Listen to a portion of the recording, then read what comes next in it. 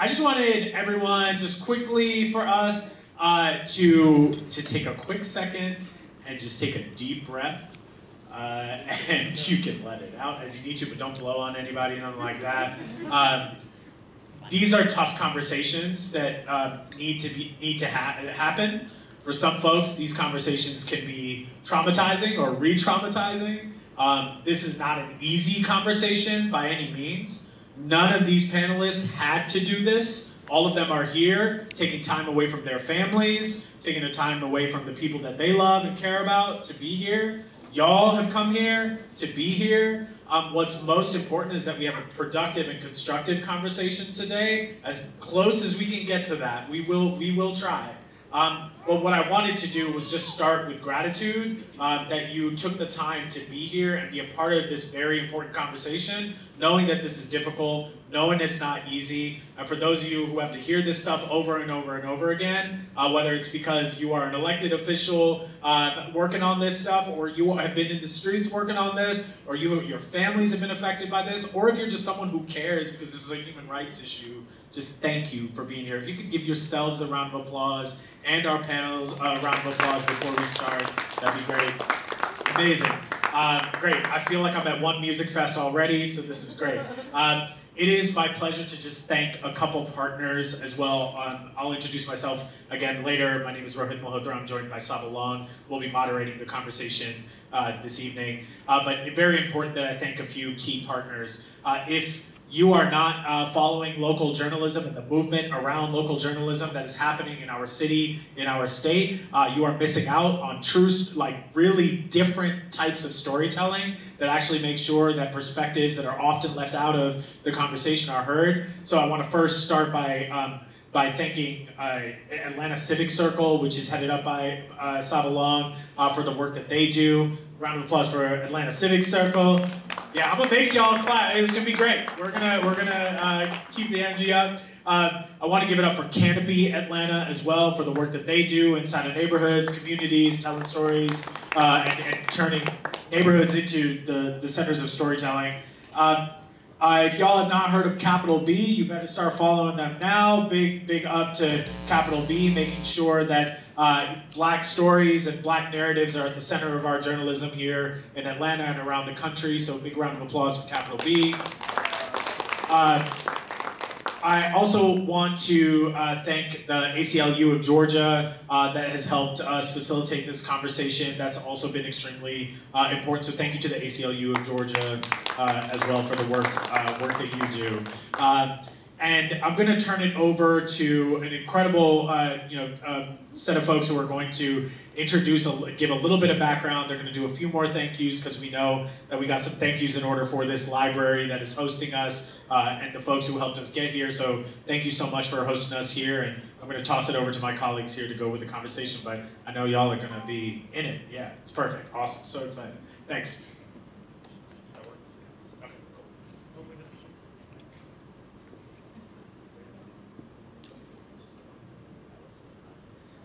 So uh, thank you, Rohit, for passing the mic and uh, the technology issues we'll continue to work with. Uh, my name is Kyle Kessler, and this is Madeline Thigpen.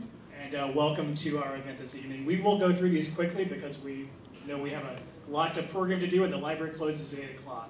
So first up, we do want to thank uh, Fulton County Board of Commissioner uh, for District 4, Natalie Hall, who's with us, um, and for the staff and the folks here at the Central Library. Uh, welcome back to this facility. Uh, for those of you who have not been here since the renovation or through the pandemic, uh, it's good to be back uh, in this newly renovated building. So thank you uh, for everyone who's up make that possible. And uh, as a disclaimer, um, this is the standard library disclaimer. So this event program is not sponsored, endorsed, or approved by the library system or Fulton County government, but we do thank our Fulton County participants uh, for being on the panel this evening.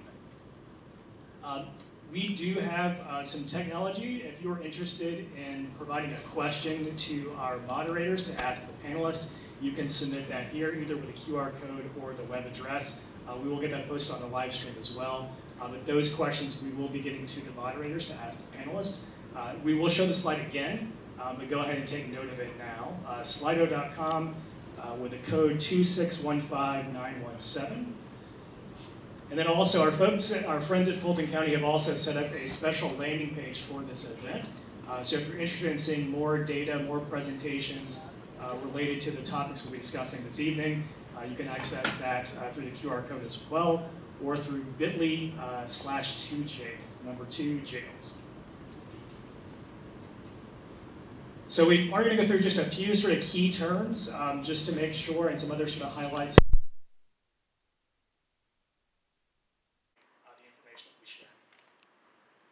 Okay, so the first one that I just wanted to go over with everybody is a jail. Um, so somebody who's in jail has not been convicted of a felony yet. Someone who's in jail is either serving a sentence for their misdemeanor or they have not yet gone to trial. So Fulton County Jail does serve as a pretrial detention center, and Yeah, we'll, we'll trust that you can read, but just hit a few highlights here, on here as well. So the reason we're here, particularly this evening, is there has recently been an intergovernmental agreement between Fulton County and the City of Atlanta to lease uh, the city detention center. But there is some backstory to this as well. There were conversations that started last year, but even before that, uh, there was a task force created in the City of Atlanta to reimagine the city detention center. Some of that is uh, moving forward with the Center for Diversion, which our panelists will talk about. But Fulton County has had uh, jails for a long time. The city has had a detention center for a long time as well. Uh, so just giving a little bit of backstory about some of the process until we got here.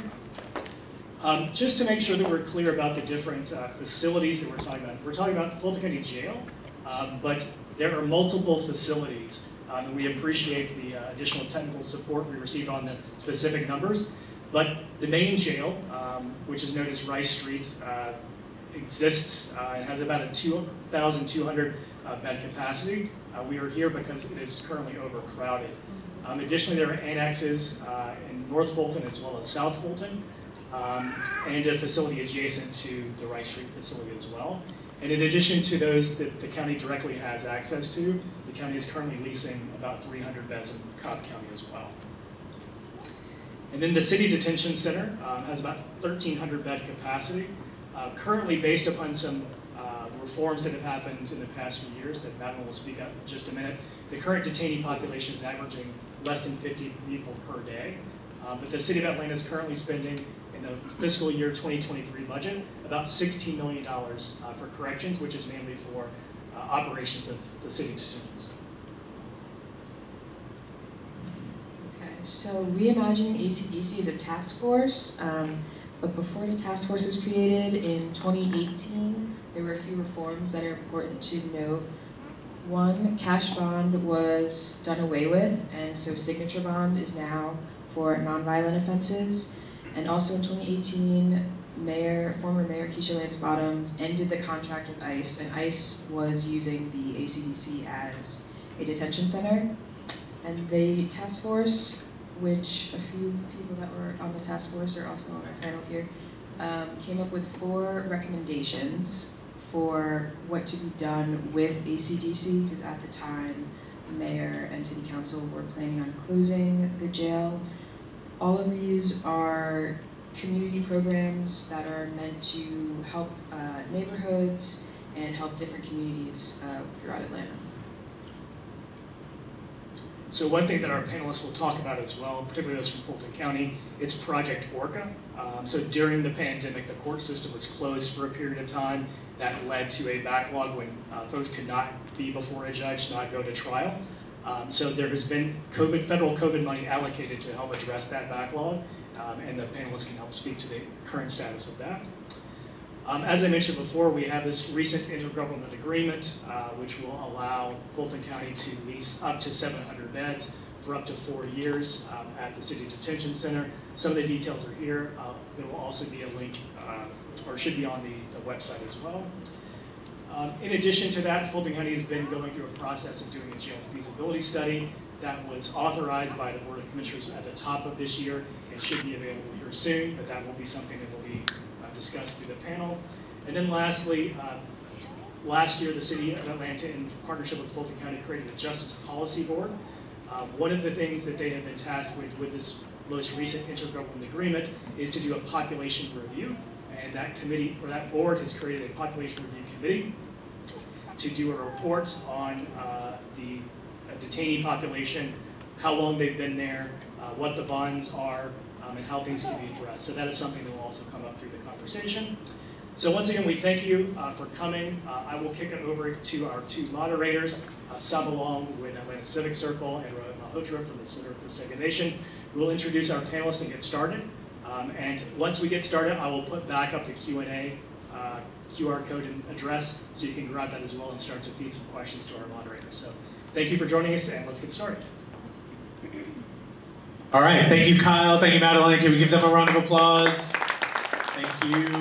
Um, we're going to go ahead and dive right in. Again, thank you for, for being here uh, today. Um, we wanted to just start off by giving you an opportunity to very, very quickly introduce yourselves. We'll make sure bios and stuff are, are distributed. Um, we have a lot of things that we want to get through today, so um, if we at any point are uh, moving the conversation along uh, by interjecting, uh, know that it, it is purely for the sake of time, um, not out of any sort of respect for you or the, or the work that you do. Um, so uh, I wanted to just have you quickly just introduce yourself, um, which organization you are with or who you are representing today, and, and why, uh, what brought you to this work? Um, what is it that brought you to this work? If there's a singular moment or thing, uh, not time for a full story, but uh, just a thing that brought you. And, and, Robin, I couldn't think of a more perfect person to start than, uh, than you.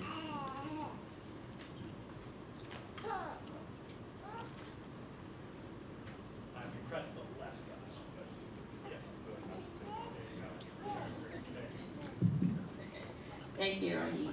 Um, my name is Robin Hassan. I am the executive director with Women on the Rise. Um, short story of how I'm into this work is I am a formerly incarcerated woman. Um, I spent 10 years inside the Georgia State prisons here, um, and during that time I learned that prisons and jails do not provide the solutions. Um, once you go in, because of things that are happening on the outside, once you come out, you're in a worse situation than when you went in. Um, so I'm here to try to help find solutions to help our people rather than to hinder them. Uh, my name is uh, Alton Adams. I am the Chief Operating Officer uh, for Public Safety and Justice at uh, Fulton County. Uh, I joined the county uh, four years ago after having retired from the private sector because I wanted to make a contribution, make a difference in a, in a different way. So my role is supporting amongst other things, uh, the sheriff and the, uh, the, chief judges of the various courts that are part of Fulton County, uh, as well as working closely with, uh, with a number of the other uh, justice partners. Good evening, everyone. So wonderful to see you. My name is Tiffany Roberts. I am the Public Policy Director at the Southern Center for Human Rights. We are a nonprofit law firm committed to decriminalizing race and poverty in the Deep South. Um, and what brought me to this work is um, a number of things. I'm the daughter of a community organizer, deeply invested in self-determined change within communities um, that considers people to be assets, um, but resources, right, and blessings uh, capable of determining for themselves how to forge better futures. Hey, good evening. My name is Patrick Labat. First and foremost, thank you. The library is beautiful. I haven't been here since the third grade. Uh, we'll leave that, that, that, that there. Uh, born and raised right here in, in, Atlanta from Frederick Douglass High School to Clark Atlanta University. Started my career in law enforcement 11 at night to 7 in the morning, working in the city jail, where for the next 20 years, I worked my way up through the ranks. In 2010, I was appointed chief by then Mayor Reed and spent the next decade uh, really trying to figure out how we could affect our community in a different way when it comes to pretrial, when it comes to jail. Starting the PAT 3 program, one of the most groundbreaking programs in the country, reintroducing and creating viable work options for individuals that are still city employees. So that to the, to the contrary, um, had an opportunity to run for sheriff again for my third time, third time being the charm. I won after I retired. So I was retired for a year and haven't quite figured out why I got back into it.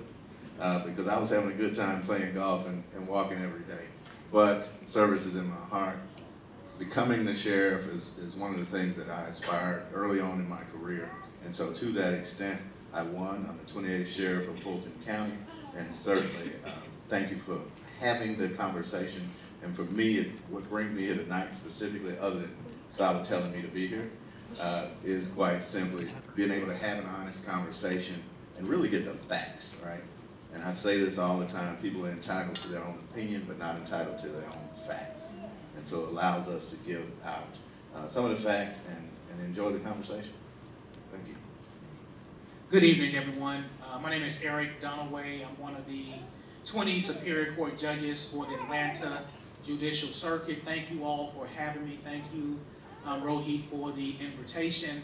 Um, I got into uh, the legal field um, at a young age. My father put into me that he wanted me to be a lawyer. Um, I couldn't hit the baseball well enough to play for the Atlanta Braves, so I gave up that dream and went to law school. I went to uh, law school down in uh, Mercer, in Macon, Georgia, after graduating from Morehouse. Um, and much like the sheriff, I'm born and raised here in Atlanta, Grady Hospital, Westlake High School, Morehouse College. Um, and I always knew I wanted to come back to Atlanta, Fulton County, um, and work in the community that had put so much in, into me. Um, so I came back home and immediately went right to work in the old City Court of Atlanta. Um, the old City Court of Atlanta, we did DUI trials and traffic. Uh, everybody knew this traffic court. We did DUI trials and traffic tickets and hit and run trials. Um, and I tried about 20 cases down there, jury trials down there, and I enjoyed um, the courtroom work. I went to the Fulton County DA's office. Um, eventually went to the DeKalb County DA's office as head, head of their domestic violence and sexual assault division. Um, and then opportunity presented itself in 2016. I actually um, went out, spoke to um, the citizens, ran, um, and was fortunate enough to be elected by the citizens of Fulton County um, to the Superior Court bench. Um, I took the seat in January of 2017, so now I'm about six years into the job. Um, so thank you all for having me. Thank you for being here. Um, so I want to start with a very basic set of premises. Uh, number one, uh, if you would disagree with what the sentence I say, uh, raise your hand. Number one, the jail at Fulton County today has more people in it than it does beds. You disagree with that? Oh, okay. It's all good. No, yeah, I took it as a fist, so it's all good. Uh, so we are all in agreement. The jail at Fulton County today has more people in it than beds. Number two, there are people in that facility today who should not be there. Is there any disagreement about that? You believe that anybody who is in that facility should be there. It, is there anyone in the, what I'm saying very just, just point blank is, there's a facility, there's more people than beds. We all agree. Second question is, that facility does have people today who should not be at that jail. Is there disagreement with that sentiment? Okay, so you disagree with that. And Sheriff Labat, do you disagree with that? I'll let you all clarify in just a bit, but I just want to know whether you you disagree with it. Okay, so let's let's just go ahead and start the conversation there, right? Um, because I think that's going to be uh, where the point of contention seems to lie, which is that every single person who is in the facility today should be there. Um, so let me start with those who oppose that sentiment. Uh, Tiffany, why is that true in your mind versus false?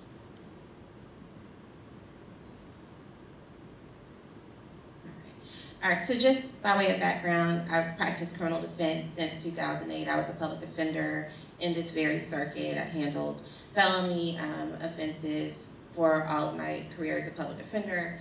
And I can tell you with great certainty that regardless of when we ask this question, there will always be people who are languishing in pretrial detention who may lawfully be there but should not be there. So the predicate question, right? How do how do we determine what that should is?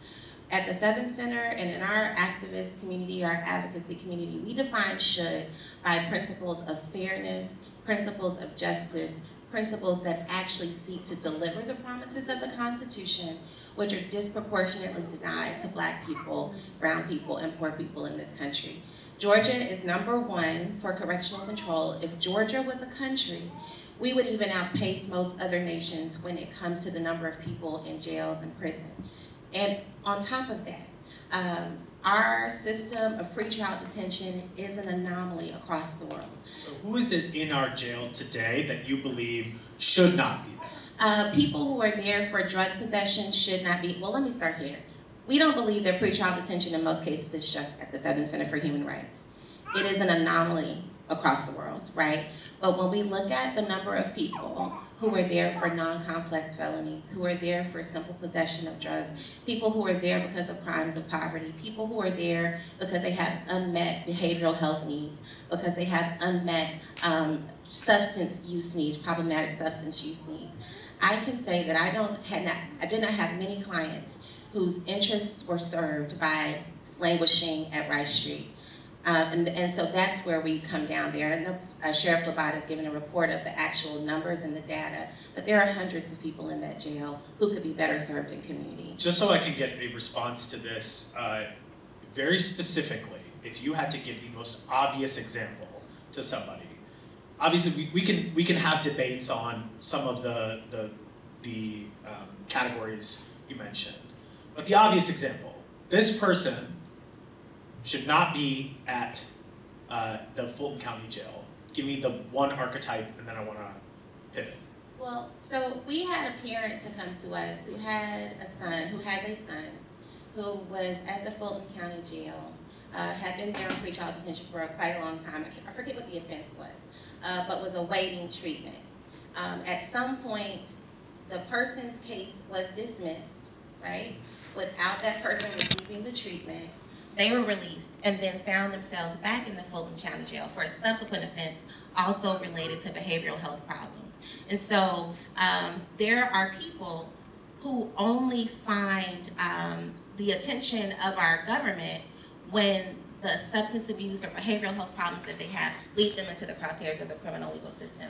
I'm not suggesting that's the majority of the people, but that's certainly, I think, a person that all of us can be sympathetic to. Yeah. And there are models for the delivery of services to people um, that will prevent them from having to be in a jail bed, Sure. right, and traumatized by pretrial detention, and then readmitted to a jail bed because they never received the care that they needed. Got it.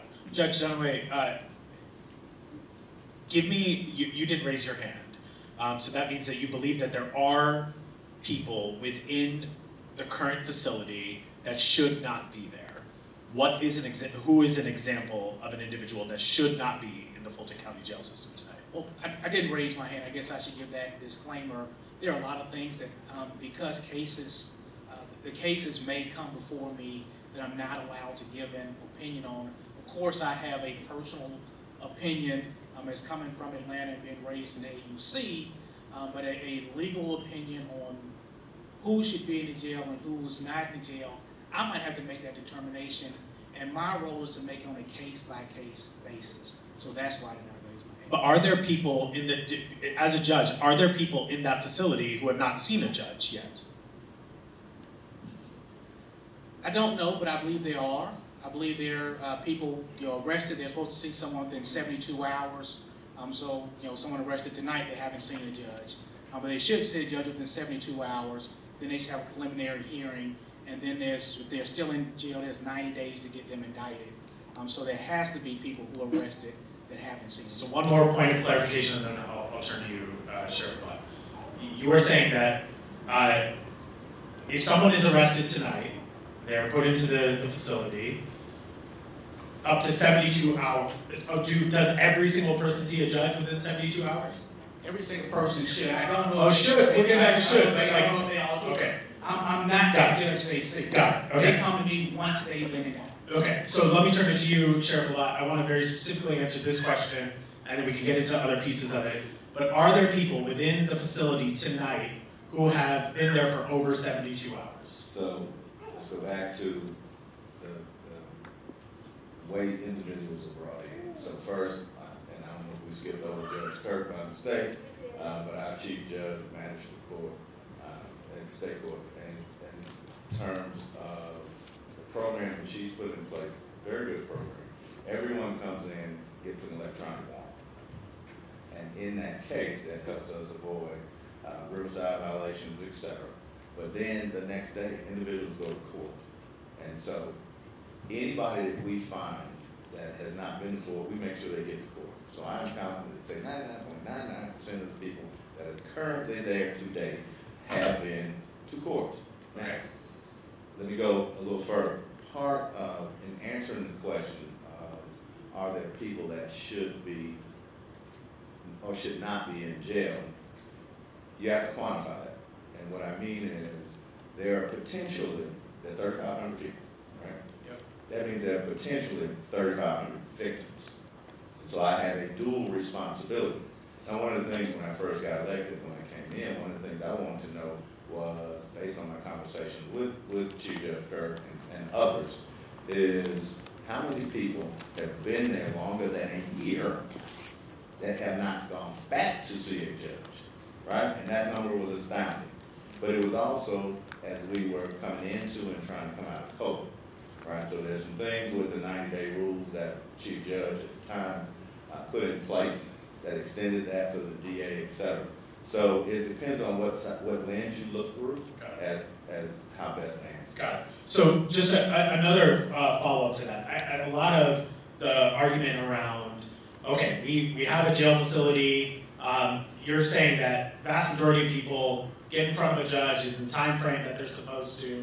Uh, but there are folks who are in that facility for uh, potentially violating probation, or at least we think they violated uh, probation. There could be people who are there for being late on a child care payment. Um, are there, when you think about the folks who are actually in the facility itself, are there people who, based on your your your uh, looking at it, that just don't need to be there? That there's a uh, that that doesn't make sense for them to be in that facility. There might be another or better way. And so there are opportunities to, to acquiesce and make that happen, right? Yep. What does that look like? Yep. So, but that's not on the sheriff, and that's not on the county jail. Sure. That is on the judges, right, who hear the cases to make those case-by-case decisions.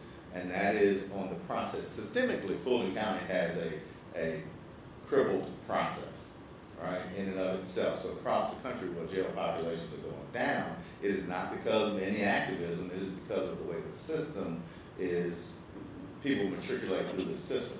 And so to that extent, there are opportunities, which we have invited numbers of people in, including working with the Bail Project, right? Trying to figure out how we get individuals that qualify to get out. Yeah. But violent crimes, this notion that, and I've heard it, and, you know, repeatedly, and we've had some healthy conversations around it, that there's six hundred misdemeanors in jail and the sheriff should just let them go, right? It's not the case. And So what is the case? so the case is that two hundred, as of last week, two hundred and sixty-one misdemeanors, right? Those 261 out of 3,500 are And misdemeanors. so, and, and Alton can quote the numbers even better than I. Okay. Here's the problem. Our system of how we book people in is broken. And- Okay, and- agreed on And, and let me define broken for, for the audience, viewing audience. Fifty-five percent of those individuals have additional warrants, have additional charges. So if I book somebody in, my data entry, uh, person technician puts them in the misdemeanor first, and then the felonies, when we, when you draw down on that information, it shows the misdemeanor, right? So when you go back, and this is why, uh, last week, we gave all the data, being completely transparent. You look at that, fifty-five percent of those folks have additional charges. So in- about half. So you flip a coin, they may or may not. so pulling the data from that between the judges that have had an opportunity Yeah. to see uh, more in depth in, in terms of those particular cases, there were twenty-one people that had been sentenced and ready to be released in September. So that, that was captured.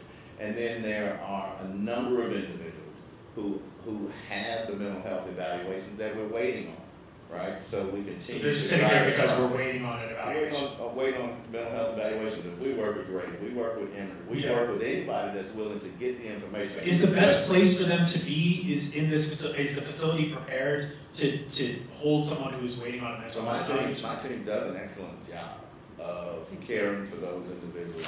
But you're short-staffed, right? As best we can, right? And that is just where we are in the process. But again, the jails across the country have become mental health institutions because we have traditionally a last. I, I can't speak to the jails across the country. What I, I really want to focus on here is in Fulton County, what you what you did agree to on the on the panel, and I want to turn it over to Saba uh, for, for some questions for some of our other panelists, is you did agree that there's overcrowding at the jail. We agree with that, correct? agree. So we agree with that. So the question is, is that if there is overcrowding, who is it that, uh, is it any, do, do you have a system in which who gets a bed and who doesn't get a bed? Is there a, uh, how are you determining uh, when someone goes into the facility, what kind of care that they receive or not? So based on the judge's evaluations, those kinds of things, here's the important number, is that there are five hundred and twenty-six people as of two forty-five today sleeping on floor devices. 520, 26 26 people. So as individuals, as cases get, get churned, or as individuals make bond, we try and get those individuals. Are any of those 526 folks uh, fitting the description of violent offender, like people who would pose a risk to society by being released? Absolutely. Okay. They pose a risk inside my facility, Okay. right? So the last last part of my, my question is around bond. Um, and uh, Eric, if there's something you want to chime in on that, feel free, and then we're going to turn it over to, to me and Robin as well.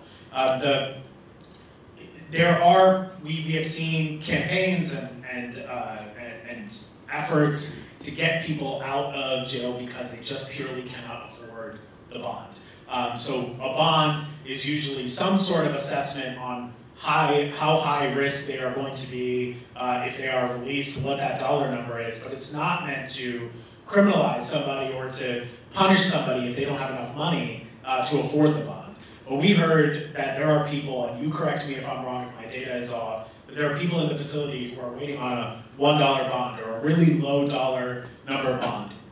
Are there any, just, just so I can frame the question, which is, is there anybody inside of the facility, do we have folks inside of the facility who are not a threat to society and yet just cannot afford bond and cannot be uh, bailed out of jail? So let me refute the whole dollar piece, right? Okay. And we can collect that information if, if that is something that uh, you're interested in. Yeah, we're gonna talk about data in a second, yeah. From that perspective, but that's not my decision, right? That's better suited to the judges. So understanding that everyone sees a judge, Yes. right? That's their, that's their, that's their. Agreed. I'm not, I'm not questioning Right. the actual decision or how we got to bond determination. Right. Obviously, that's a, that's, we're gonna have to get to the statute. What was it say, what does it not say? But what you know is, because you know the data better than I do, inside of the facility, are there people who are being held on a low dollar bond and are not able to post, uh, because of it, that are nonviolent offenders? Let's, let's approach it from this perspective. Okay. The judge, again, can answer better than I can. Okay, So an individual with no bond goes to court. Yeah, Several months go by, they go back to the judge. okay, The judge says, whether you're indigent or not, they go through that process and they give them a bond. okay, They may not make that bond. They go back to court, and the judge is then able to adjust the bond accordingly and repeat, re- repeat, rinse and repeat until that per, until that person or that judge makes that decision, right? And again, to Judge's point, it is a case by case basis. Where does bond data sit? Who holds this bond data? Because I can't find actual bond data. Bond data, as in what. Like what people are being held on, what, how much it would cost to get them out. Like who, is it the sheriff's office that holds it? Is it the courts that hold it? Who holds this So from a data perspective, in terms, so what we were asked through this committee was to do an average, right? To try and figure out that piece. But again, that's a case by case basis. Each bond, it's in the system, right? We can tell you what the bonds are. And if you want to point a range to whether it be a dollar to five hundred dollars, five oh one to a thousand, whatever that looks like. But that in and of itself, we're completely transparent about. And so that may not get to the crux of the issue though, which is what I'm hearing, is that people are in jail because of bail. Because they can't afford to get out. Is that true? And again, but again, you would have to balance that with, I can't afford to get out, but I can get five hundred dollars worth of Yeah, counseling. yeah, but that's a different, I, all I'm trying to figure out is, are there people, because I'm trying to get to solution building, are there people Right. inside of this facility who cannot afford to So get out? we do not collect indigent data in that capacity. But that's what the judges, and and again, I don't throw the judges, you know, into this, but that's part of what their job is. And so, Judge, I'd have to rely on you. Fair enough. deep. Okay, got it. All right, um, so bond procedure, if I may. Bond pr- procedure, someone comes, um, before the court, they or their lawyer files a motion for bond to get them before the court. They come before the court, um, they make their argument for a bond, um, the state usually, many times, I won't say usually, many times objects, the DA's office many times objects to bond being given, um, so the decision comes to the court, and here are the factors that we have to consider in whether or not to grant bond. The first factor I always consider is the person standing before me, as you pointed out, is presumed innocent. They have not been convicted of a thing. So why am I keeping this innocent person in jail? There are four reasons to keep someone who is presumed innocent in jail. Number one, they're a risk of flight. If I let you out on bond, no matter how much the bond is, you won't come back to court. Number two, are you a risk to commit further felonies pending bond? If you have a rap sheet with five prior felonies on it, do I give you a bond on felony number six? Number three, are you a risk or danger to the victim or other witnesses, risk to threaten or danger to the victims or other witnesses in the case? If it's a domestic violence case, if I let you out on a domestic violence case, am I going to be on the news for letting you out because you went and killed um, the alleged victim of the domestic violence case? And then finally, number four is are you a risk or threat or danger to the community as a whole?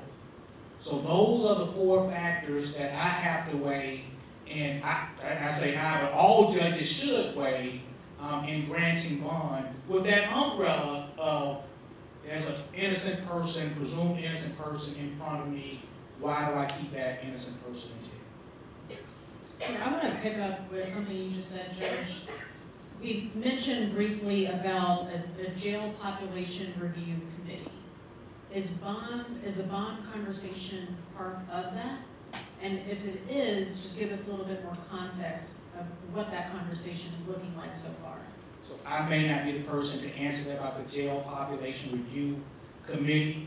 Um, The Superior Court judges, we are state employees, we are not county employees. Um, We have a, a part of our budget comes from the county, but we are state elected officials, so we're not county employees, so we shouldn't be a part of those county and city um, government uh, decisions, so I'm probably not the person to answer that question. Yeah, Robin and Alton are both on that, on that you committee. can pass her the mic. They are.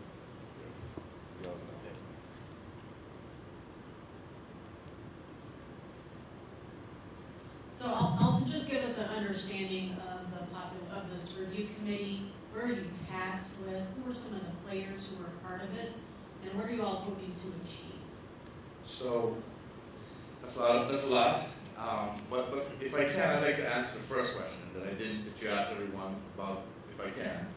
Well, I didn't ask everyone, if you could answer the question she has. the- Okay, well, I, I just feel like we didn't answer it, um, at least to this, in, in, in a comprehensive way. But, um, the jail policy board was set up, um, to, uh, to, to manage the diversion center that's being built in the current uh, location of ACDC. That was set up a year ago. Um, when uh, we went forward and asked the city of Atlanta to let Fulton County have 700 beds because we consider it a humanitarian crisis. We consider it unconscionable that you have 1,300 empty beds while we have individuals whose lives are at risk because we are, have a jail that's overcrowded. The city council passed that, and the board of commissioners passed that. They did say to the Justice Policy Board, we would like you to do a statistical, maybe provide a statistical report in advance of that. That particular caveat was put in at the last minute. Um, and so the Justice Policy Board, as part of that, set up a review committee that is designed to produce a report. What that report should include and what it shouldn't include wasn't defined in that particular piece of legislation. So the scope of that is in fact being defined by the Justice Policy Board and primarily by the, um, the, the, the co-CEOs or whatever you want to call them of the Justice Policy Board.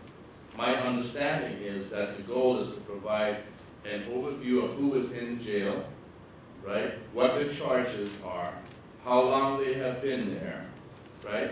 Some demographics, age, and so on. The sheriff delivered that information to the city council and to the board of commissioners last week. So my understanding is that's what this review committee is supposed to be doing. And in fact, as far as the Fulton County uh, perspective, that has in fact been done and has been delivered to the city council and to the board of commissioners.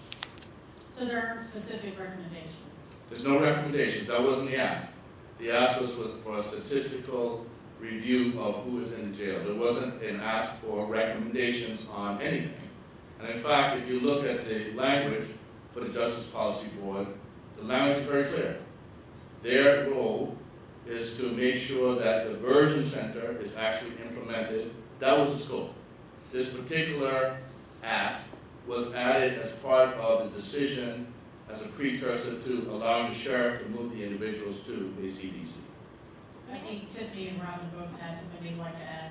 Yes, so, oh, would you like to go ahead then, Tiffany, and I'll go after you. So I have the language, so the, the language, thank you, the language of the ordinance says the report shall detail a review to be conducted which shall include a statistical analysis of the jail populations of the city of Atlanta and Fulton County, which would include, but not be limited to, an analysis of data related to the total populations, the offenses which detainees are booked under, the average length of detention, the average bond issued per violation, the reasons for the detainee releases, and the frequency of the charging, the frequency of the charging of each offense.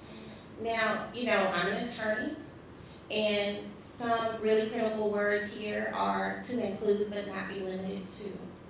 I think that it's important to note that while Sheriff Labat has provided a report to City Council and the Commission, uh, that the report uh, was the sheriff's analysis and was not raw data.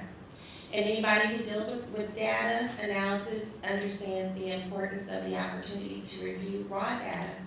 And, and the jail policy board, or the jail review committee rather, um, also can serve a very important purpose.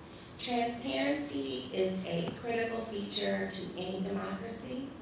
And affording communities an opportunity to look at raw data for themselves is valuable. Um, anytime that we request open records from the county or the city, anywhere in Georgia, Alabama, or Louisiana, we ask for raw data. Now, the Southern Center has filed several open records requests for the electronic transmission of certain data related to the jail. I and I think that it is valuable that Sheriff Labat and the consultants have delivered a report on behalf of the Sheriff's Department.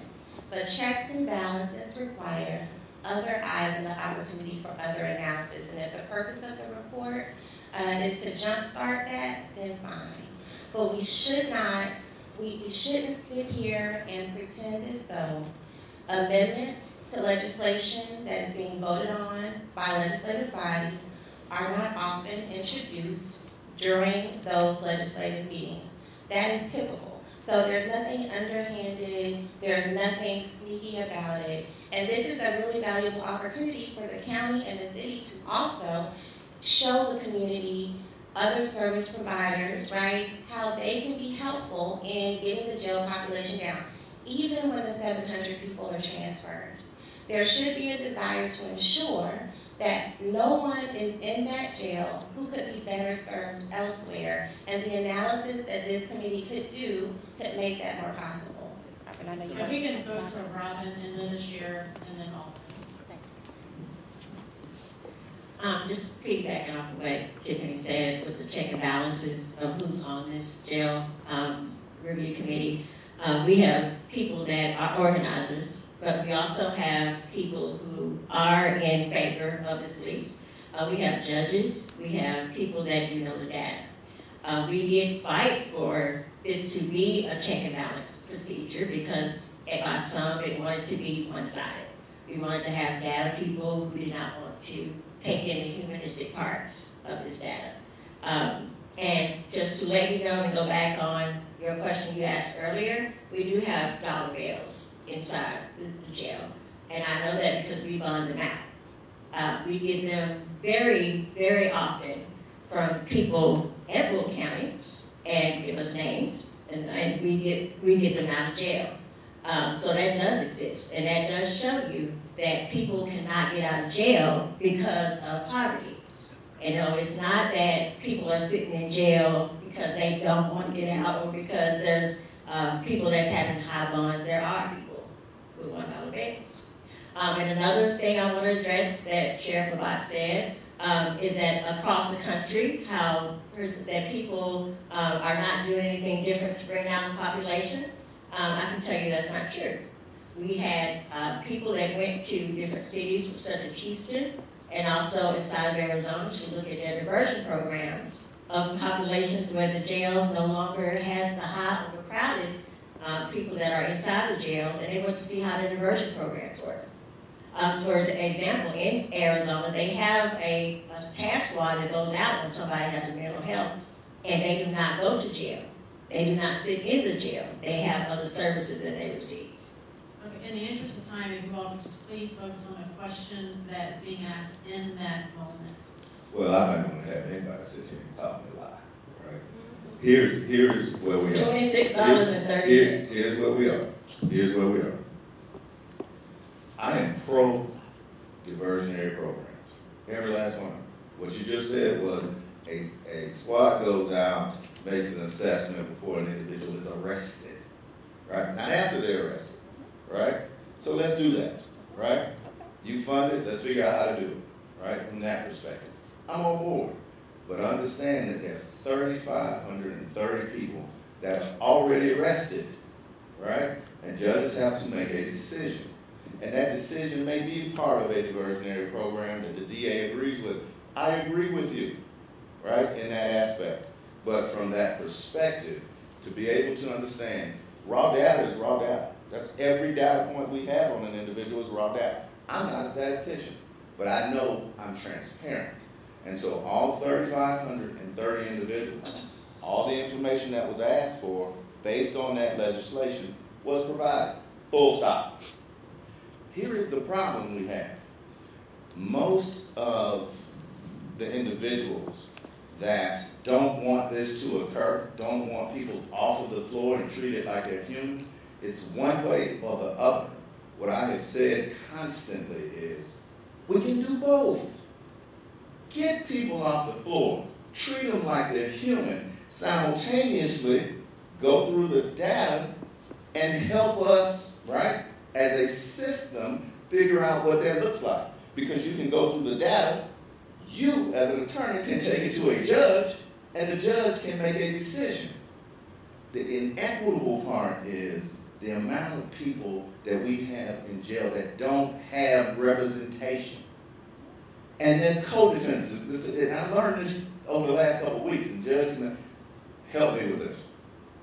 We have co-defendants that if the public defender's office accepts a case, the remaining co-defendants on that case cannot be helped by the public defender's office. We wrote that advocacy letter. And that's, uh, and, and, and we're on the same page, right?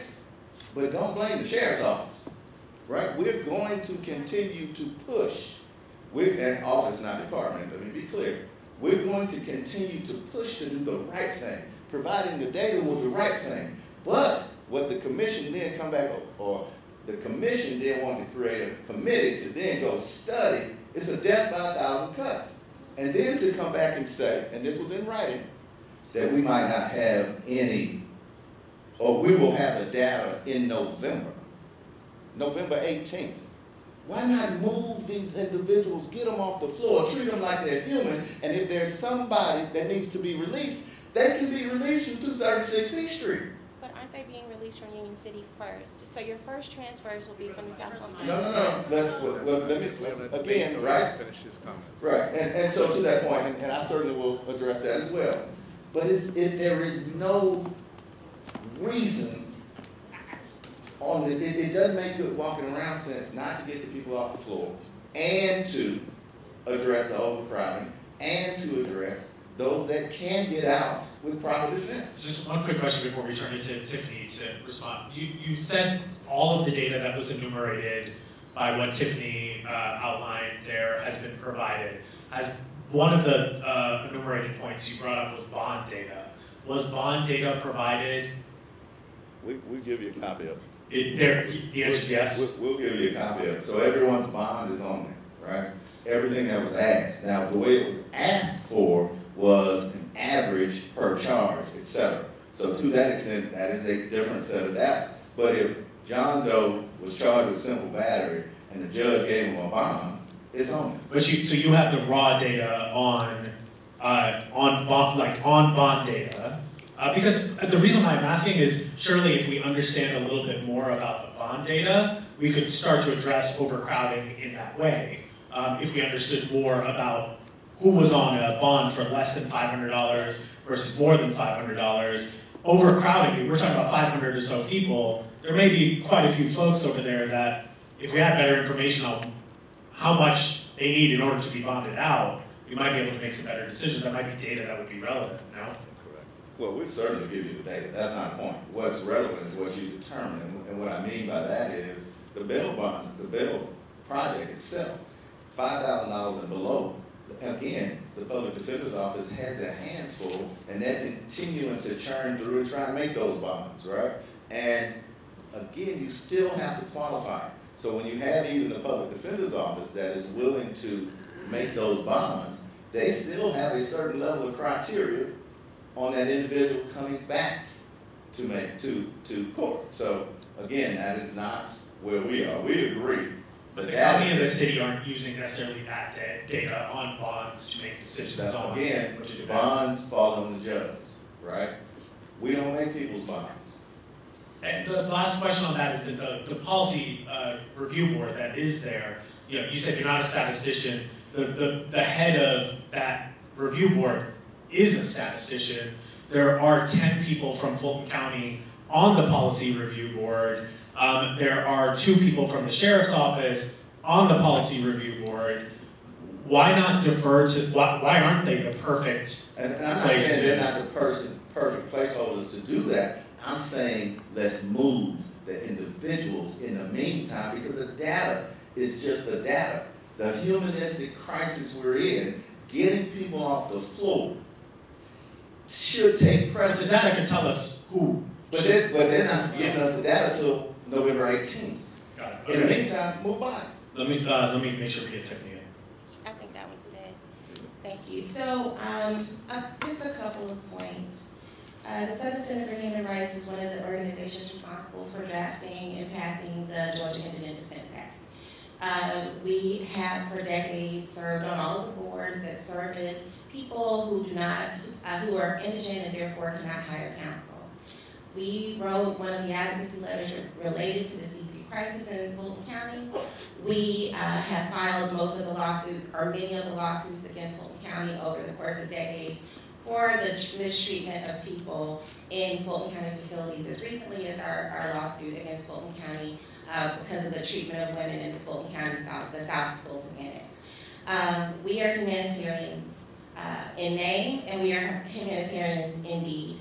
Um, we are close partners with the Bail Project. In fact, when 2020, during the COVID-19 crisis, we worked with the Bail Project and tried to do a mass release from Fulton County. Uh, that mass release couldn't happen because the county would not accept one large check for the number of people we wanted to bail out. We are in constant conversations with the Bail Project and the information we inquired with them about whether they had any ongoing programming with the sheriff, uh, any long-term planning with the sheriff. They, they confirmed that they do work with Fulton County to bail out people on a case-by-case basis. but that is not a long-term, right, ongoing plan. There are so many people and organizations in this city who do not wish to have an antagonistic relationship with the county. We work with people on all sides of the aisle. At the state capitol, many of the people that people rally against because of the color of their logo for their political party, we are able to pass good laws with them as well. And so what I'm saying that to say, we come to the table ready to collaborate regardless of political party, regardless of who you went to high school with, it does not matter. What we know is that in our conversations with public defenders, a couple of things are happening. People are seen within 72 hours for first appearance, but then people are being held for 180 days sometimes between bond hearings. Um, there are people who have gone in to observe, and when someone shows up, so the C3s are a really bad case of that, you show up, you don't have an attorney assigned, a judge, because of capacity, may not be able to get you on another calendar for months. When I was a public defender, I would say, Judge, can I have a two-week reset? Can I have a one-week reset? Those kinds of things are not possible right now under COVID uh, because of the backlog. And so we have to be really, um, we have to be willing to consider that we should think about whether our processes are working. A 180-day reset for a bond hearing is what we talk about having to deal with in South Georgia, where they got two magistrates and a little bitty jail. That's not what Fulton County has.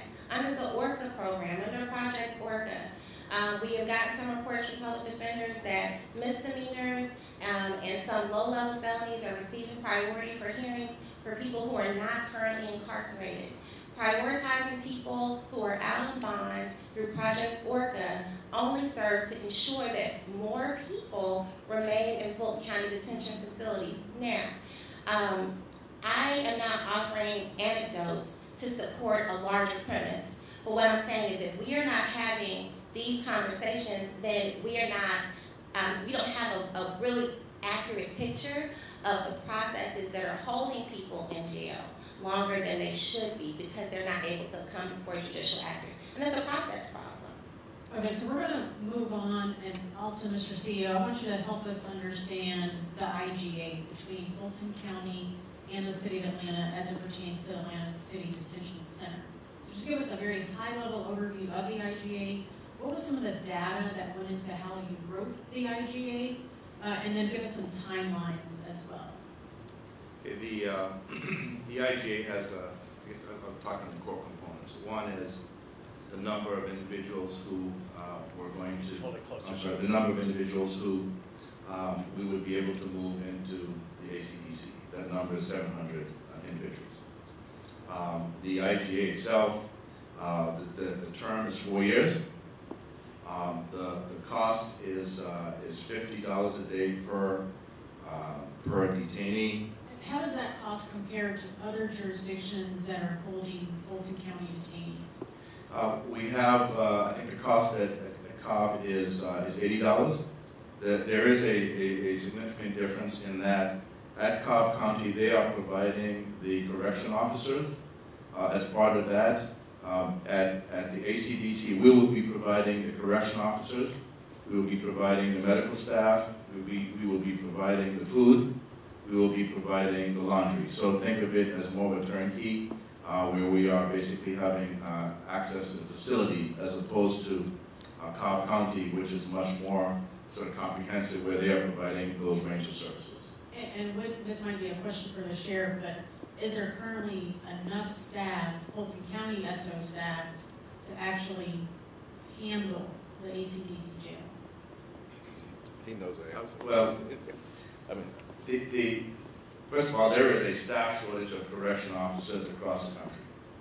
And, uh, and so the plan is to uh, initially move uh, the, uh, the women from Union City and over a period of time uh, to move the men. I think we had targeted 100 individuals per month.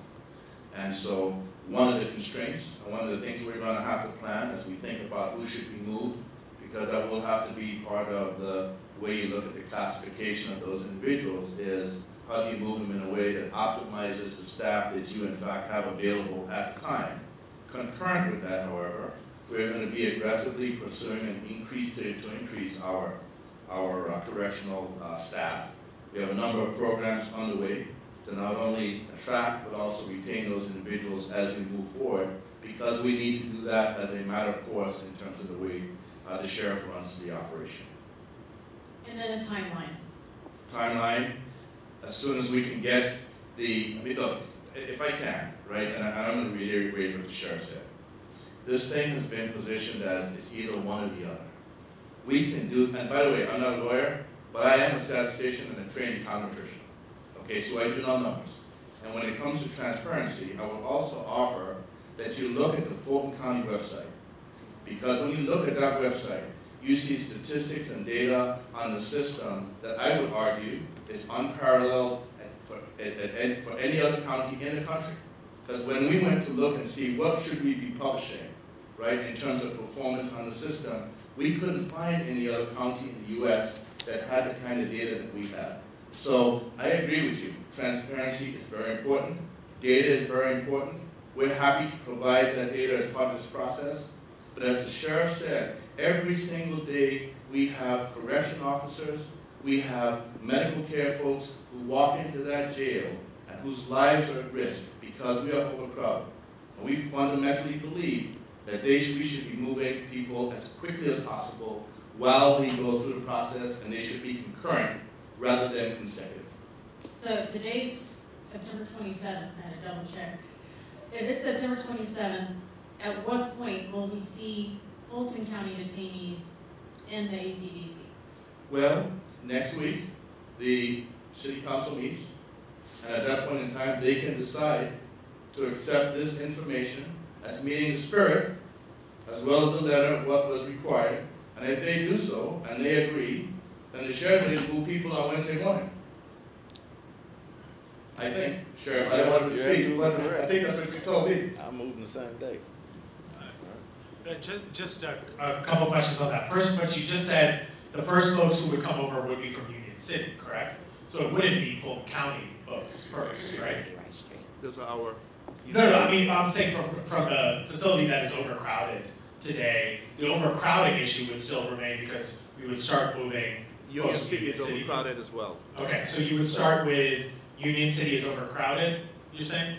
So Union City is overcrowded. Okay, what's the pop? The city what's- also asked that the women come first in part of the negotiations, right? So Okay. that we could then staff, because they do not have the staff. Okay, And then ultimately, we can assess, we can continuously assess and then open units individually, up to a hundred a month. okay, so hundred folks a month, so seven hundred beds, that means up to seven, in seven months or so, we're gonna have a full, uh, uh, facility at ACDC? Four months.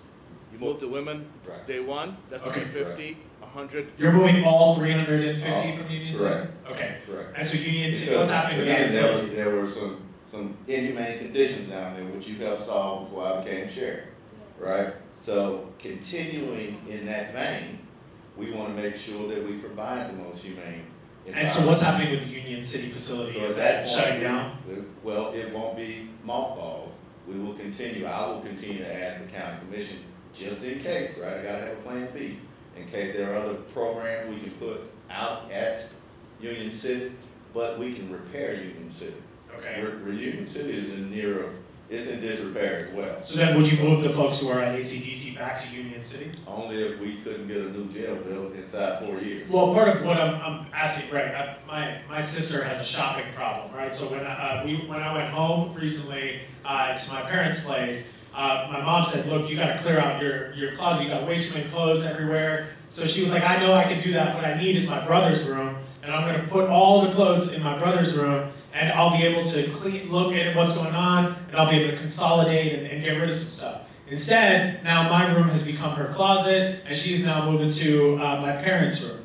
The part of the question I'm, I'm wondering is, are we, uh, to use Pat's description, are we really turning off the faucet here, or are we just trying to build a bigger bathtub? Like, what is the, are, is this a real estate problem? Is this a, we need facilities now, or are there opportunities, if real estate was not the issue, are there opportunities to reduce that overcrowding population without having to rely solely on spreading people through multiple facilities? Can I, ask- can I, if I can? Yeah, sure. I think part of this is understanding how we got here. Before COVID, we had 1,200 less people in our jail. Okay? It wasn't perfect, right? We were overcrowded, but we didn't have a crisis. Did we not have a crisis in 2002 or 2000? I'm, talking about, I'm just, just talking about. No, no, I'm genuinely No, asking. no, no, So yeah, I'm- you- I'm- but, but I'm trying to address your, your point, which is, Okay. what I'm trying to say is, before COVID, Uh-huh. we had overcrowding, but it wasn't a crisis stage. Okay. We've added 1,200 individuals since that time, over the last two years, combination of things. Yes. We had to shut down the system, right? We couldn't have jury trials, we couldn't assemble jurors. We had an increase in bookings, 14% over the last year because of an increase in crime. And the nature of the crimes have become more severe, which lengthens the time, right, to actually go through the trial process. So, to answer your question, part of what we're doing, and that's part of what Orca is designed to do, is to help us accelerate and get people out of the system. So our goal, our target, is that, to your question, three or four years from now, we don't intend to have 3,500 people in our system because we will have, in fact, been able to clear a number of those cases, and ideally, ideally get back to where we were at a minimum pre-COVID. So, yes, we will have, we will still have a situation, but it, it's not, it, it won't be 3,500 individuals. Okay, so what, you, what you're saying then is that um, essentially here, you're saying that this is a temporary solution, um, and that after four years, if, if all things were to remain stagnant, that this facility could go back to being the um, the mental health and, and uh, community services facility it was intended to be. Well, this is never designed to in fact replace or get in the way of that. And that's part of the false narrative. We support diversion, right?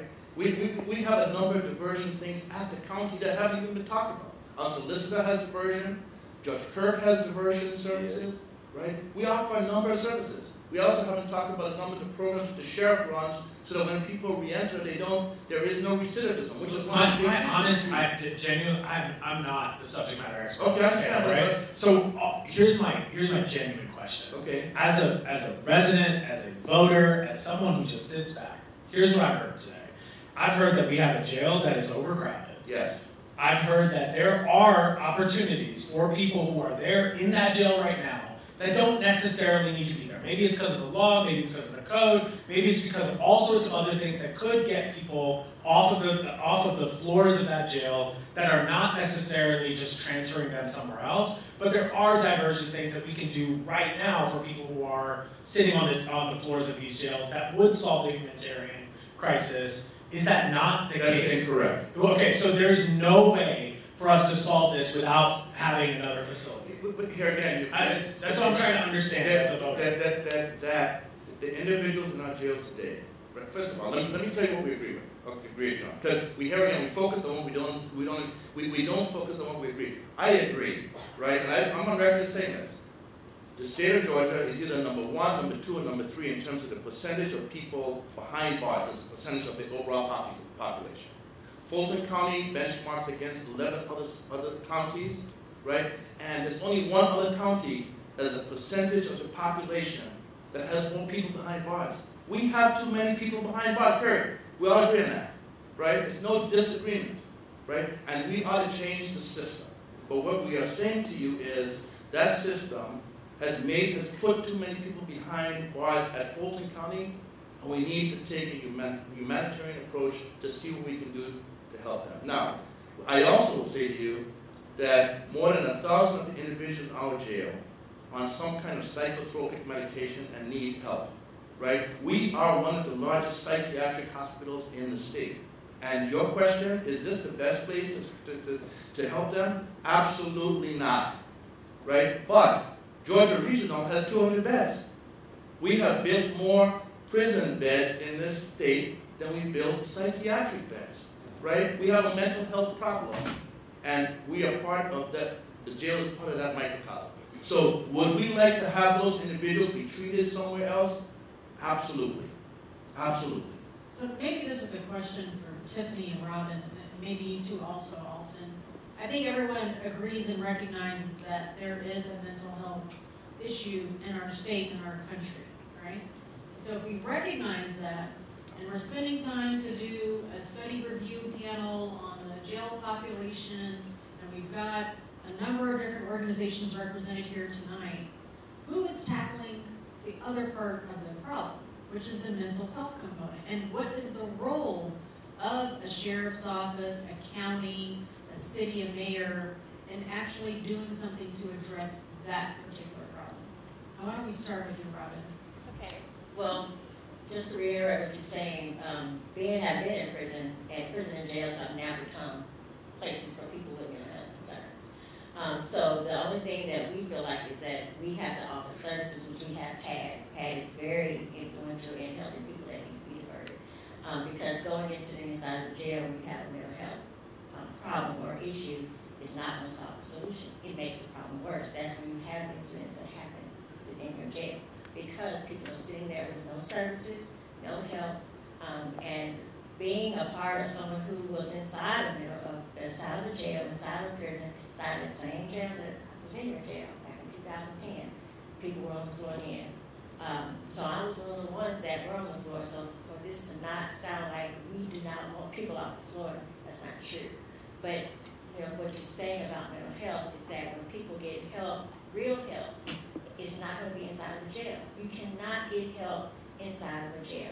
For someone to go and get and see someone for an hour or so, and then go back into this environment with contention and aggravation, it's not going to help them. So that's why we say if you have services like PAD, who they don't even go inside of a jail in first place and get So, so what do you better. want the county, whether it's the sheriff's office or the county itself, what do you want them to do to Um, address the mental health component of this conversation? is to implement PAD more. They, we have a system where you can either call 311 or people that call 911 have had, we responded more. Tiffany, you want to add to that? And then I'm going to pose the same question back to you, Alton and Sheriff. So I think that um, one important point is when we've traveled um, to other cities and looked at the delivery of services for people with behavioral health needs, unmet behavioral health needs, the resource mapping part has been very important. And what we see is that despite um, Atlanta and Fulton County being places where there are significant financial resources, in a lot of places, when compared to other similar cities, we are actually resource poor when it comes to treatment beds and treatment facilities. Um, and on top of that, the Department of Corrections, uh, the State Department of Corrections has ceased its operation of many of the of the um, mental health treatment options available to people who are actually convicted and sentenced. And so, one thing I want to be really transparent about is there are not currently enough services um, for people who would find, who would otherwise find themselves in the in the criminal legal system, which is why organizations like Women on the Rise have championed pouring more resources into um, repurposing the Atlanta City Detention Center, right? We, we know that we have to provide avenues for uh, community organizations that, that are direct services providers to service people who are justice impacted, but also fund them. Um, and, and So, that so what do you happening. want, what would you want the sheriff or the county to do to address the mental health component of this conversation? I don't believe that the sheriff can do more to address the mental health concerns in correctional facilities. What we find is people are people decompensate when they're incarcerated. And so what we are asking is for the county to partner with community organizations and direct services providers so that we can provide um, we can provide more robust delivery of services. There was recent legislation, um, House Bill 1013, in the, in the General Assembly, where um, the, the, the legislature is looking at how to ensure that people have access, but also that more programs can be funded. So I just, I, what, what I'm trying to avoid is misrepresenting what's currently possible so that we can, so we can be super clear that what community organizations are also saying is we must build more to deliver services. Okay, and so, again, the same question both to Sheriff Labat and then also to Alton.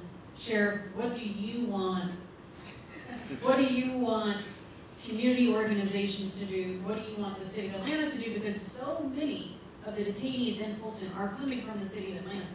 And And what would you want the state to do? So those three, activists, the state, and the city. so first we have to understand my constitutional responsibilities. right? chief law enforcement in the county. And we have fifteen municipalities inside Fulton County, the largest in the state. Uh, Protect the courts and of course, run the facility, run, run the jail. And so to that extent, the question becomes, and, and I want to make sure we're clear, again, pro pre-arrest diversion, but it is just that. It's not time when you get to the back door to make that decision. An officer has already made a decision, right? In many instances, if there are opportunities to intervene, here's the problem, whether it be funding or otherwise. I've had officers tell me, I called 311 at 2 o'clock in the morning, and nobody answers. Because it's Right. not available Because- at two AM. But again, right, so, so again, the system, all well So intended. then maybe there could be something for three-one-one specific to law enforcement. So And- if law enforcement is calling three-one-one, then maybe it's open for that. We're really trying to get to the solutions component of this. And so, Everyone recognizes the problem, right? But how can we collectively figure out the solutions and move towards that action? And again, maybe funding, right, maybe that's what it looks like, maybe the state ultimately steps in and has an overarching three-one-one system from that perspective and what that looks like. But again, right, this is the part that I'm most passionate about, is that there is a potential victim in these instances. The, the connotation that we're bringing people in simply for possession of marijuana is not happening, right? Connotation that, that, or the assertion that we are bringing individuals in and, and locking them up, throwing away key for theft by shoplifting, is not happening. I personally pick up the phone and call the solicitor general and say, what can we do for this gentleman? Right? Here's a case where the family's called, attorneys have called, advocates have called, and we pick up the phone and say, what do we need to do next, right? How do we speed up and get them on the court calendar? What does that look like? So some level of open communication across the board, right? And ultimately, I, you know, I'm not here to advocate for, advocate for other agencies and departments in as much as we need help, right? The piece that the public defender's office is fighting a bit about conflicting out has caused a larger and larger problem. And that is one that, that you won't hear about until that crisis continues. But I also maintain, right? And I hope you heard this too, because you named the things that you heard, uh, Roy, right, which I think is fair. But I hope you also heard that the potential to do both, get people off the floor and continue down this path of getting people out, whatever the services are rent, that need to be rented, can be done simultaneously. And then I'll, Alton, if you can just answer the question about what, there should be a mic right by you. What can the county, I think we're down to one mic. Down, on? All right, we'll speed this up. Okay. What, as a county leader, right, what do you want the city of Atlanta to do? What do you want the activist community to do? What do you want the state to do to help you all address this issue? Well, I think the first thing is, it'd be nice for all of us to, to work together, right, because it's a big problem. Uh, and, and it can't be solved by any one of us, right?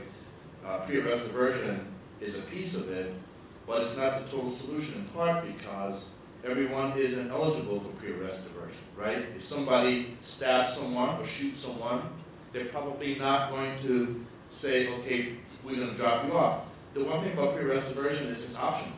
In other words, if, if I go to pad and, and I have it and I, am not, I'm off my meds, whatever, I can walk out tomorrow and be back on the street and, and not have dealt with the root cause of not having some place to live, right? So we need to think and be realistic about how we surround PAD with the types of services that we, in fact, address the issue. Commissioner Hall actually has been leading an effort. She started, we started looking at this issue three years ago. We had discussions with the Louisville Diversion Center. We looked at what they're doing at Miami-Dade, which is probably the gold standard. We looked at what they're doing in Houston, which is probably the silver standard. We looked at what they were doing in other places. She sponsored a number of meetings. So we have been looking at this, and it's a complex issue, and there's really no simple problems. Now, what can the county do? Um, uh, Latrina Foster left. She's our head of behavioral health. She's been talking to the state for some time about getting state funding for a center here in Atlanta or in Fulton County to help us with this. We've asked a number of times. We haven't been successful. We will will continue to ask. So that's what I think the county can do. And in terms of the city of Atlanta, I mean, the city of Atlanta is, is the largest um, part of our jail population. I think we have a good working relationship with the new mayor and with the city council. I think we can continue to work together to figure out what we can do. I think the diversion center that's underway is a part of that, right? But it's not the total solution. We got to surround it with other stuff.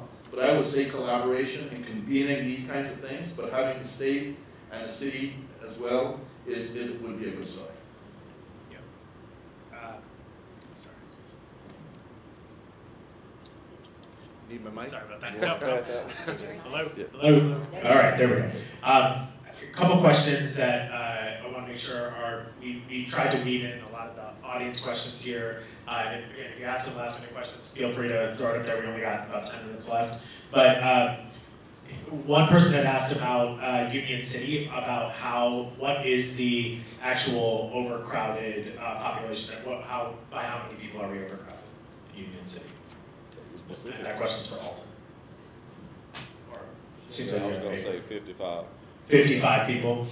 Okay, got it. Fifty-five young ladies. Okay, because what we were told was just that Union City was, and the, the context of this question was just that the jail at, or the jail at Union City was built because of the overcrowding issue, um, and yeah, it, that's, that's incorrect? That, that's incorrect. It was already built. It was already It built. was Okay. already- So it was not built. We, the county bought it. Okay, so this person is not, The transfers were, when I was a public defender and women were transferred to Union City and other facilities, the purported purpose was because of overcrowding.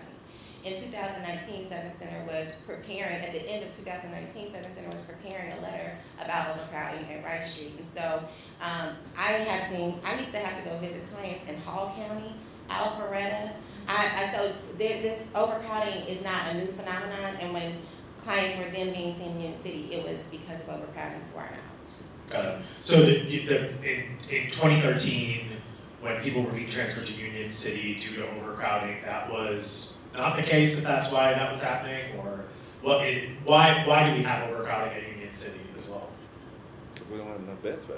Okay. I mean, that's just the honest truth, right? COVID, So some the other things we piece, just talked the, about. the other, the other piece that we failed to mention is, uh, that fifty-four percent of our arrests have gone up, right? And these are violent crime arrests. So there are police departments doing their jobs, right? When you have a ninety to ninety-three percent clear-up rate, because violence has, has, you know, run rampant over the last couple of years, they're doing a better job of clearing up those cases, and charging those cases. And so we've gone up fifty-four percent just in violent crime arrest, if that makes sense. And hence, uh, both male and female, and so we continue to add to that population. Um, Alton, uh, another question that came in, uh, why, uh, why was a feasibility study conducted before uh, an agreement was put forth? Um, wouldn't you do, or excuse me, why was it the feasibility study now being conducted as opposed to being done before an agreement was put in place? Wouldn't it make sense to do a feasibility study and come up with an agreement We started the feasibility study in January of last, of this year. with the city of Atlanta? No, it's a Feasibility County feasibility study. Okay. We started it before the, the, the ACDC, oh, well, actually, we started discussions around ACDC. My, our first conversation with the, with the mayor was in November of 2019. So that's been going on. But the feasibility study itself has nothing to do with that. We realized that the Rice Street Jail is, which is 40 years old, is, has had, is, is beyond its useful life. And, and since the next jail we're gonna have is gonna have to last 50 years, we realized that we needed to start to do something.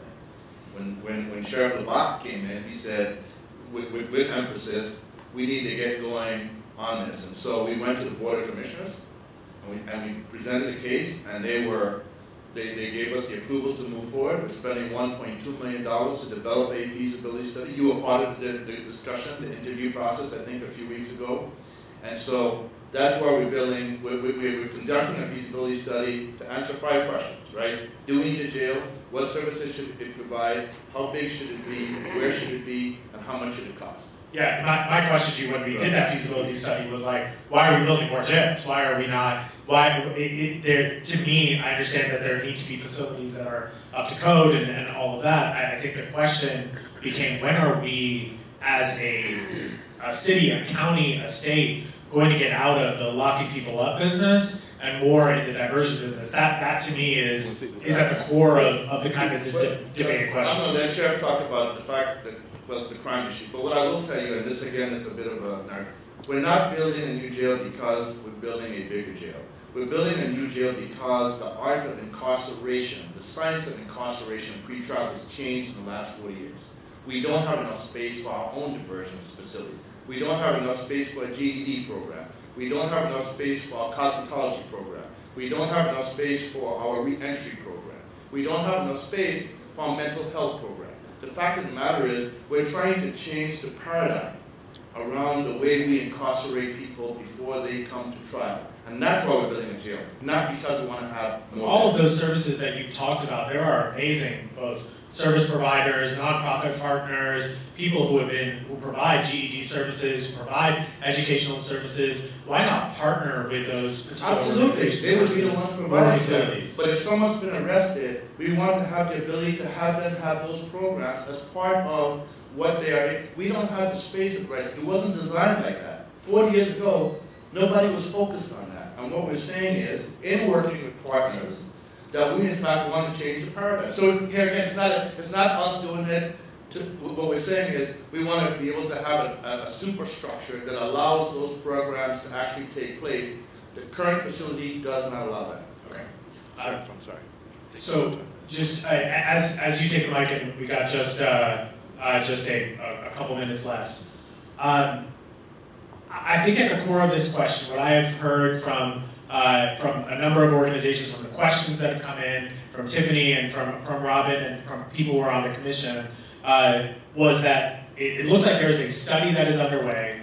Y'all have provided some data to the city. The, the, it, it sounds like that didn't uh, appease a lot of the folks who were at the city, uh, that it didn't necessarily pass all the things that they wanted. There is, based on uh, what I am looking at here, um, the legislation specifically says the Atlanta City Council hereby requests that the Justice Policy Board established in an IGA between the City of Atlanta and Fulton County, authorized by 21R 4118, uh, convene to establish a jail population review committee uh, composed of the members of the Justice Policy Board that will, using established best practices, conduct the, the jail population review as described herein and de- deliver on the report and the review no later than 90 days of the proposal, and that there are a number of those enumerated things and data points that they have not received to date. So I wonder how we think next week is going to go. Um, and then my other, my, my core of my question is, is there a world in which we can wait for this study? Um, let the people who are from Fulton County, from who are activists, organizers, all as you said, you want everyone to come together, work together, partner together, figure this out. You have a commission of those folks. Would it not make sense to wait for them to look at the data, look at the raw data, spend spend the time to do that, and issue a series of recommendations and act against No. those? Absolutely not. Okay, so we should not look at the data No, before. it's not that. Yeah. It's not that, it- you should not have to hold hostage a program where we can start affecting a crisis of people sleeping on the floor. Sure, but it's And not. continuing to damage the building, continuing to hurt each other. Can, I had someone killed last week, right? This is a, this cry has been a humanitarian effort that you can do both simultaneously. You can study the numbers all night, every night for the next until November 18th is what they like to do. But we can also get people off the floor. We can start moving people out of the city, out of, out of Union City, which, which was the, the subject of a lawsuit years ago that you brought. I, I, I agreed with. But we have to be in a position where it's not one way or the other. Is there as not a reasonable, is there not a reasonable time frame? Because this is, what is the? Why wait? Yeah. Why wait? If I can, why Solely wait? because it If I sounds like, it sounds like the, the, the data that this group of folks are looking for, sounds like they are, it is not satisfying the requirements Here- to here's, the, make. here's the thing. If you can read further, it does not say it has to be approved. It does not say that there has to be suggestions made. It simply says it has to be done. And so if it simply has to be done, you do it simultaneously with the already agreed upon getting people off the floor. And to answer your question, holistically, the easiest way to reduce crime, to reduce the numbers of people in jail is to ask people to stop committing crimes. It's simple as that. Because the people that we're going after, the people that I formed task force to go after, have committed serious felonies. But I, think Against I, people. I just And want to be clear, what, what you're putting, because I don't, I want to make sure you're not putting words in my mouth. I'm not saying that those who are committing these, these serious crimes that you were talking about, that is certainly not what the, the review board is, is looking to, uh, to, to uh, fight folks on. What I'm hearing is that they are saying that if we had, this is what I'm hearing, if I'm wrong, you let me know. They are saying that if we had data, bond data, raw data, in better these specific types of information. I'm no expert, but that review board surely is, right? me push back. Just, just give me one second to finish that one sentence, right? Which is, they're saying if we had this data, what we would be able to do is to be able to come to the table with a joint goal. I have a sixth uh, panelist to my right. Sorry. The the that if we if we are you're able to come to the table with these particular pieces of data as experts in the field, including people from your office, we would be able to provide better recommendations on what should happen next. Is that not worth us taking the time with these experts? Do they not have the same goal They or don't, humanitarian? no, they don't have the same goal. So you don't push believe they back. have the Let me push back, let me push back. I watched the entire city council meeting. Yep. I watched a veteran city council person ask a, a new city council person, even if we acquiesced and gave you what you want, will you support getting people off the floor? The answer was no. And the answer was no. And so to that extent, all I I want, I want to be careful to, to stick to the question, at And- right? and so- Which is like uh, we could talk, we can we can definitely critique council all day long, uh, but the question at hand is this board that y'all have created. Y'all have created. Okay, Y'all have. Fulton County didn't agree to have this board. You're in agreement that this board should exist, correct? The jail policy, not No. You don't agree that the the jail. No, I don't. Personally, no. you do not believe that this I board didn't, of I experts. didn't vote on it. Okay. So it is much like, let me, and let me be honest, because Commissioner Hall knows this to be true, uh, because every pre-arrest diversion meeting she had, I made, as chief, I made sure I was there. Every task force meeting that was had about ICE and other things, I made sure I was there, because like you, I wanted to hear for myself. Yeah. And every meeting was one meeting after the other about not doing and not working together. I'm It was a- this it was a- council, this board that is, I, I just want to stick to this review And- board, and which so is, what I would suggest to you Yeah. is that to have a review board, yes. create a committee, to then turn around and take a month and a half to do So something. you're not I'm happy with the saying time? Don't do it. I'm It's the saying- timeline's the issue. I'm not saying don't do it. Okay. I'm saying let's agree to work together to move people in an environment that is much more humane Yep. and continue to do that work. May I, may I say something? I, I just, I want, I want to be clear. Under the intergovernmental agreement, the women in Union City must be moved first.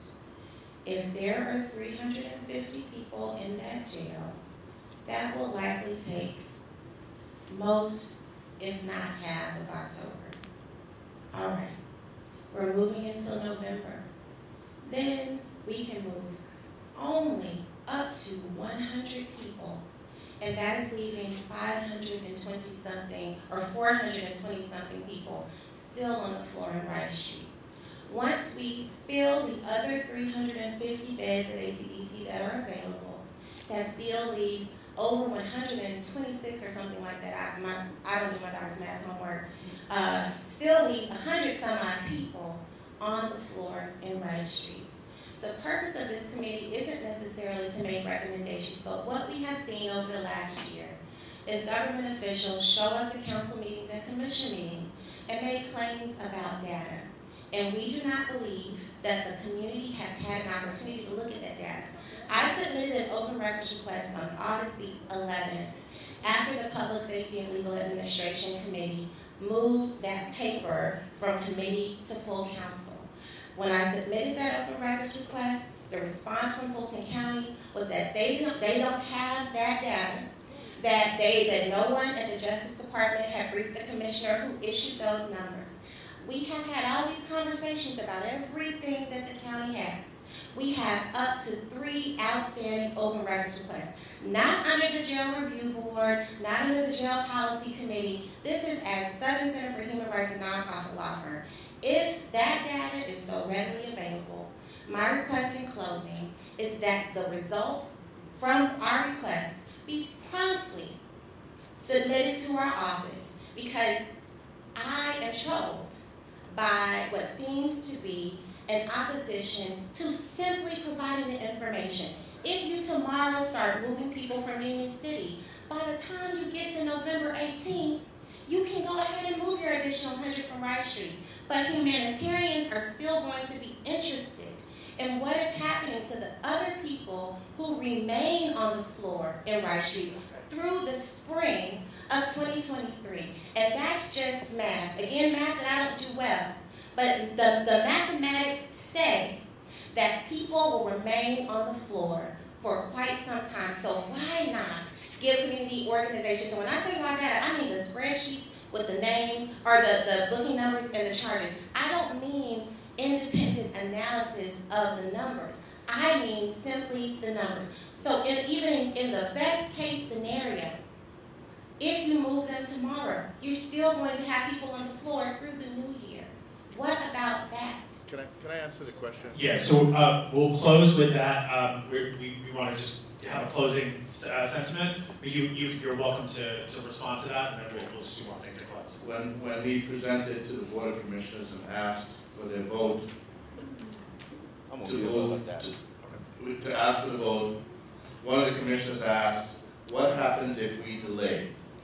And my, my answer to her was, people may die. We've had that. We have stabbings. We don't disagree. You can, as, as the sheriff said, you wanna have a PhD research process? Go ahead and do it. What we're saying is, what we're saying is, it shouldn't be done at the risk of the people who show up at Rice Street every single day. That's all we're saying. So what I'm hearing though is that there is a set of data that people have asked for. You are saying we have that data. It really just sounds like if there is that data, if it is enumerated that you have it, I think there just needs to be a public process in which there is clarity that that data has been received and that that data has had the time for whatever that may be. If it's a day, it's two days, it's three, days, I don't know what it is, but that's what I'm hearing is the miscommunication. There's a bunch of folks saying, we want information, this information needs to be evaluated, the raw information needs to be evaluated. Y'all are saying, we have that information, we've been doing that since January. It sounds like this is a pretty easy fix, And right? the best part about that, the best part, not only did we give the information uh, to which we gave to the, the board of commissioners and the city council, our next step is to provide, if you download the sheriff's app, to provide that data updated every hour on, on our app. Right, that's our next goal, that's our next technological ask, is that of the, of the, uh, board, so that we can fund that, right? Build a data bridge, anybody can get it, it's kind of like the UCR report for, uh, crime that goes out. It'll be at everybody's fingertips. So we're gonna close, I'm gonna let Saba close this out. Uh, we'll just give y'all a quick second to, if there's, I just wanna make sure, we literally got thirty seconds per person, because library staff has been here overtime. Um, it's Taco Tuesday apparently at the Labat House. That's right. Uh, so, That's right. uh, you know, Tiffany, I've seen her literally on her feet since very early in the morning. Um, so, and Alton, thank you for, for being here.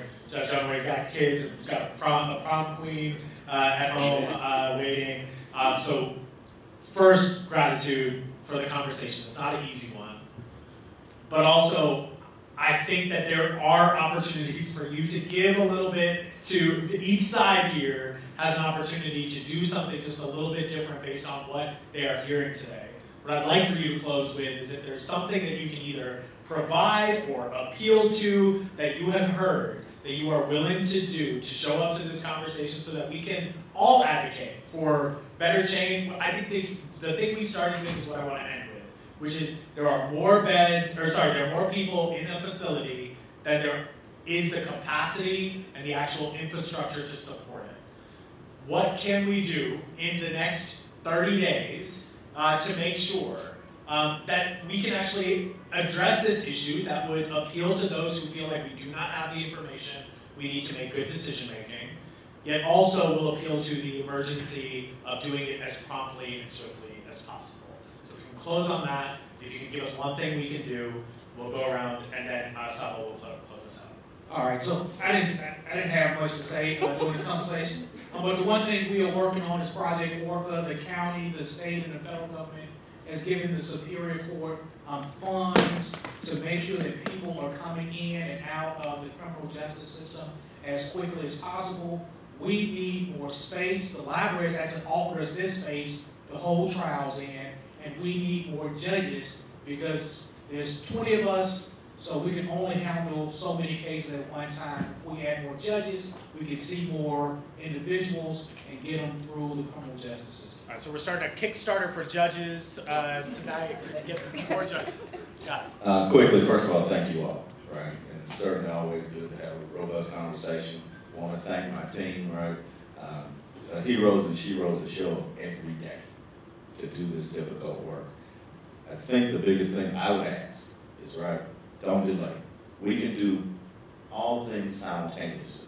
Again, as Alton put it, you can do a whole PhD pro, uh, you know, program on it. You can have scholars from Clark and, and Georgia Tech analyze it until it, until the, the ink runs dry, whatever that looks like. But we have to move bodies because there is nothing that we're doing that will prohibit anybody that is found to have to, to maybe see a judge quicker or to have a bond made. There's nothing that prohibits that from happening, doesn't matter the address. My question was, what are you willing to do that might appeal to some of the concerns that you've heard tonight? I, I think I did it, right? I'm, uh, the, the data's there, right? Short of someone trying to tell their own narrative around the data, my goal is to put the data out for everybody, right? And that's the biggest thing. And then we remove that. You know, in my office, I have a little thing that says, you know, no excuse zone, right? Tell me what the excuse is. Let's check that off, and then we move forward. Fair enough. Um, we are always willing to help get people out of jail, and we will continue to be open to working with the county and our national partners to fashion programs that facilitate releases, especially for people who courts have determined can return upon payment of bond. We've also launched a court watching program called Justice Watch Georgia. You can email justicewatch at schr.org. What we'd like to do is ensure that the community has a more holistic picture of what is happening in our courts and can understand what what the various alternatives offer around the country to deal with the, the criminal legal system in Georgia's unusually high number of people under correction control. We're willing to work with the Justice Policy Board, work with partners that we're able to, to meet. I want to thank you as well. Um, we want to work with you. Um, so I guess we'll show up when you, when you, when you, when you want to have dialogue. Yeah, I think the data that you shared, it would be great for us to, to share that with the general public and also to hear from any of the other organizations where there are incompletions there so we can follow up with maybe it was an oversight or, or maybe there's an opportunity to add more information. Thank you. Um, Sorry? what- Oh, okay, I'll repeat myself after. Thanks. Uh, what we're willing to do is continue to bail people out of jail and provide services to people, so it will reduce recidivism, it off altogether, instead of having a revolving door that you all spoke about, helping people, providing resources that aren't provided in a free atmosphere. Um, so that to me is a way to cut down on the population that's inside the jail, because once, when know that they services. Okay, that was quite the dialogue, um, and we didn't do too bad on time. Uh, again, thank you all for being here this evening. I think we could have easily gone another 30 minutes, but I know Mrs. Labat, and I don't want you to be on the receiving end of that wrath. Um, Again, just really appreciate all you all for this conversation participating. A couple of things. Uh, One, you listened to the conversation. I'm sure you all had personal thoughts about this. We would love to hear them.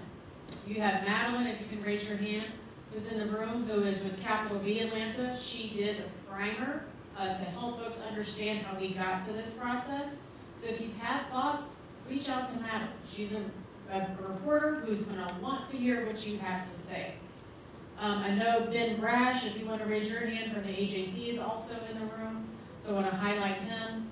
Uh, if you if you want to see more programming like this, please let us know. What kind of topics do you want us to talk about?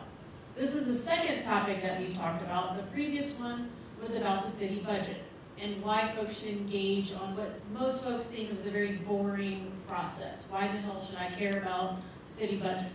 Right? So we, we do these types of programs to help you understand what's happening in your community, what's happening in local government, and the role that you can play in it. And so that government's not just happening to you, but you are an active participant in your community. Um, and with that, uh, just one last thing I would say, all the organizations listed on the screen, they all have newsletters. ACC has a newsletter, Capital B has a newsletter, Canopy Atlanta has a newsletter. If you want to find out more stories like this, more programs like this, subscribe to the newsletters. Uh, ACLU, raise your hands in the back. I just want to make sure that you see them. And I'm pointing these folks out so that you can connect with them as we exit. Again, thank you to the Fulton County staff. Um, I'm sure Alton will approve your overtime for tonight. And with that, um, uh, one more thing from, from Rohit. Oh, yes, uh, Karen from Senator Warnock's staff is also here if you want to raise your hand, uh, Karen. Uh, and with that, I'll turn it over to Rohit for one truly final thing, and then we will be out. Yes. Um, just wanted to say two things. One is uh, we are, uh, uh, what I was saying earlier is that we're going to take the data that you have provided, try to be able to publish that uh, publicly. Um, also, any of the organizations that are involved in this, if there are questions or holes that you see in that data or other things that you are looking for, we're happy to facilitate that conversation. I, I wanted to uh, make sure we thank the staff um, that was here, um, and also to thank Commissioner Hall for helping uh, facilitate us getting this uh, physical space for this open conversation. So thank you to Commissioner Hall, thank you to Fulton County, uh, thank you to Saba and the entire panel. Um, we hope you have a great evening and take this conversation to your community so it doesn't stop here. Thank you.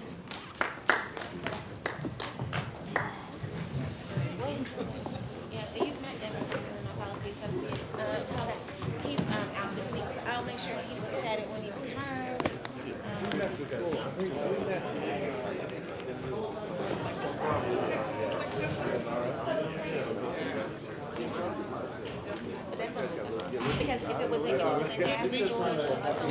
that should have been part of the conversation. We had Chief Judge Cassandra Kirk, who a lot of the sentencing happens through.